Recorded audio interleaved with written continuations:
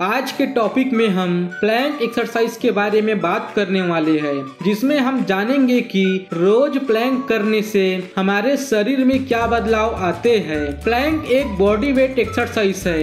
ये न सिर्फ़ एक बेहतरीन वर्कआउट है, बल्कि करने में भी आसान है। इसे करने से मसल्स को मजबूती मिलती है। साथ ही इसके कई दूसरे फ़ायदे हैं। इस एक्सरसाइज को आप कहीं भी कर सकते हैं। इसमें पैरों के पंजों और कुहनी पर शरीर का भार रखना होता है। तो आइए इसे करने का सही तरीका और इसके बेहतरीन फायदों के बारे में जानते हैं। पेट के मसल्स को मजबूती प्रदान करे। इससे पेट की मसल्स को मजबूती मिलती है। ये अकेली एक्सरसाइज लगभग पूरे शरीर को मज़बूत बनाती है और बॉडी को शेप में रखती है। पेट की चर्बी कम करने के लिए यह बेहद कारगर है।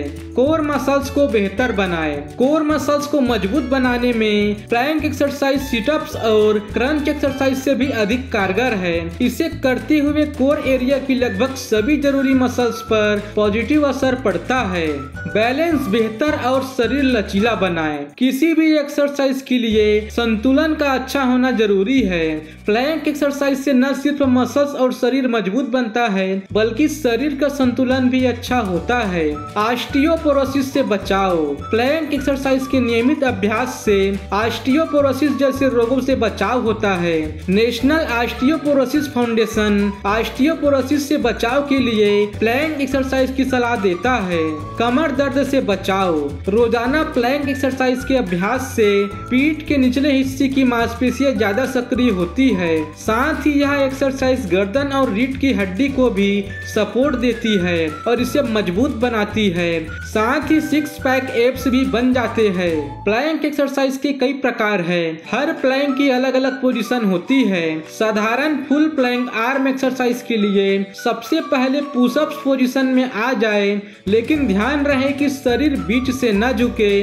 अब जितनी देर हो सके, इसी स्थिति में रहने की कोशिश करें। सांस भी रोके रखने की कोशिश करें। पैरों को ऊपर रखकर प्लैंक करना हो तो सबसे पहले प्लैंक पोजीशन में आ जाए। और पैरों को किसी प्लेटफॉर्म या कुर्सी आदि पर एक फीट की ऊंचाई पर रख ले।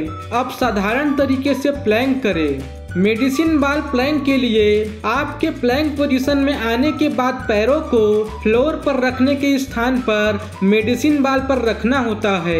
आसान लगने वाले इस प्लैंक वेरिएशन में काफ़ी मेहनत लगती है। एक पैर पर प्लैंक करना इस एक्सरसाइज का एक और चुनौतीपूर्ण वेरिएशन होता है। इसमें साधारण प्लैंक की तरह ही कोहनिया ज़मीन पर ही होती है, पर एक पैर हवा में होता है। प्लैंक एक्सरसाइज करते समय इन बातों का खास ध्यान रखें। अगर आपके कोर मसल्स कमज़ोर है तो प्लैंक ना करें। अगर आपकी रीढ़ की हड्डी में तकलीफ़ है, तब भी प्लैंक से बचे।